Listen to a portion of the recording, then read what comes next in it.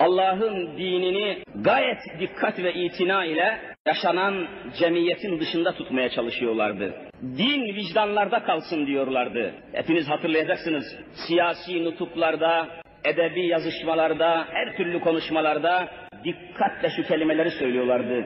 Din vicdan işidir. Din vicdanlarda kalsın. Meydanlara çıkmasın din, sokaklara inmesin din, etrafa yayılmasın din, herkesin vicdanında kalsın, herkesin içinde kalsın, din dışarıya çıkmasın, caddeye çıkmasın, çarşıya çıkmasın, eşya ve maddeye hakim olmasın diyorlardı. Din tutucudur diyorlardı.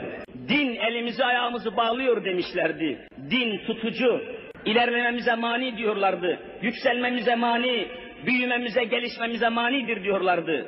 Yalan söylüyorlardı. Yalan söyledikleri zaman ispat etti. Hadiseler ispat etti.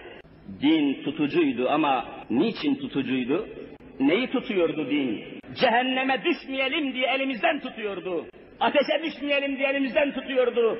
Nesillerimiz canavar olmasın diye önümüzü tutuyordu. Kötülüklere gitmeyelim diye tutuyordu. Din bizi insan olmak için tutuyordu. Kendi kabımızda, kendi fıtratımızda, kendi yaratılışımızda tutuyordu. İnsan olmak için tutuyordu. Onların din tutucudur demeleri yanlıştı, yalandı, iftiraydı. Allah'a en büyük iftiraydı. Şimdi onlar din tutucudur, ilerlemeye manidir diye Allah'ın dinini okullara sokmadılar Allah'ın dinini devlet dairelerine sokmadılar. Allah'ın dinini gazetelerde yayınlamadılar. Allah'ın dinini televizyona sokmadılar. Allah'ın dinini cemiyete hakim kılmadılar. Şimdi yetiştirdikleri nesilleri ve gençleri şimdi onlar tutamıyor. Kanunları tutamıyor. Maddeleri tutamıyor. Jandarma tutamıyor. Polis tutamıyor. Zindanlar, hapishaneler tutamıyor. Tutun bakalım. Önleyin. Her akşam bir çatışma, her akşam bir boğuşma, güvenlik kuvvetleriyle çatışma çatışma. Bıktık, usandık Allah'ım, yeter Allah'ım, bize bir hayat ver Allah'ım. Din tutucudur diye dini kabul etmediler. Din tutucudur diye okutmadılar, eğitmediler, öğretmediler. Şimdi dinin dışında Kur'an'ın dışında yetiştirdikleri nesilleri tutamıyorlar. Kanunları tutamıyor ve hiçbir güç ve enerjiyle tutuklayamıyorlar ve tutamıyorlar. Hapishanelerin altından tüneller kazıp kaçıyorlar. Tutamıyorlar ve tutunamıyorlar. Cemiyeti bu hale getirenler, nesillerimizi bu hale koyanlar yarın tutuklanacaklar ve tutulacaklardır. Bakınız Allahu Teala şu ayeti kerimede dehşetle haber veriyor.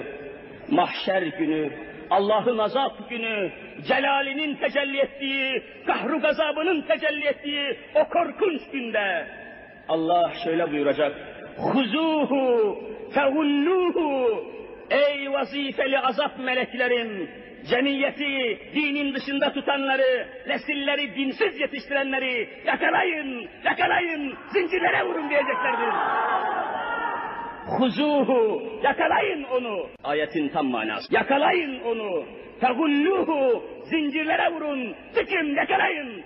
Cezalandırın diyecekler. Allahu Teala'nın bu dehşet azabına müstahak olacaklar. Sümmel cehine salluhu.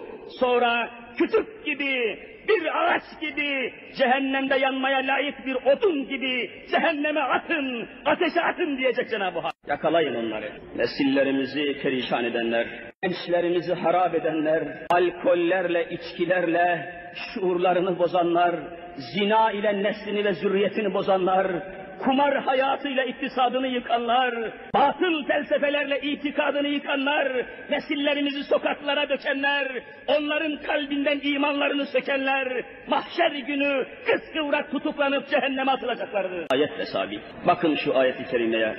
Sümme fi silsiletin zer'uha seb'une zira'an feslükûh Sonra uzunluğu yetmiş arşın olan zincirlerle yakalayın, zincirlerle tutuklayın, zincirlere vurun ve atın cehenneme, sürün cehenneme diyecek Allahu Teala. Fi silsiletin, silsile zincir demektir. Zincir. Niçin bunlar?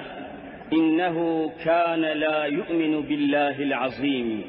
Onlar Allah'a iman etmiyorlardı. Allah'ın gönderdiği din İslam'ı hayati bir nizam olarak kabul etmiyorlar. Çeksinler hizadan denilir. Ve tutucudur dedikleri dinin düşmanlığını yapanlar